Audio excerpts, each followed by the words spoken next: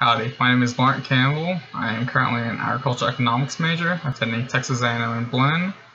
Um, I grew up in Bryan, Texas.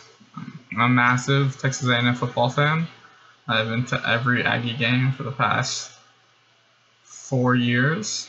Um, probably my my my favorite memory my whole entire life was my sister was in the corps, and for the LSU game, she had um, first row tickets on the first deck because it was her senior year in the Corps, and she gave those tickets to me. So for the LSU game last year, I was on first deck, first row, goal line of the overtime end zone, which is probably a memory I'll have for the rest of my life. Um, one of my favorite personal objects is a Spartan helmet that my the same sister got me when she went to Greece.